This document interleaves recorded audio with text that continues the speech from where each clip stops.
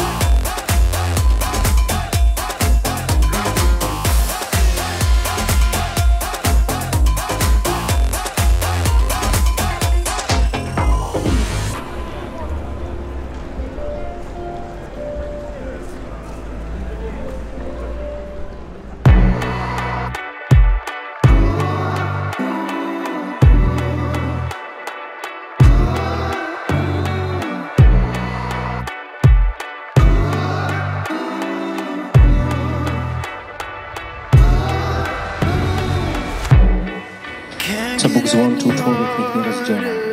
Małżeństwo przez was zawarte, ja powagą Kościoła katolickiego potwierdzam i błogosławię.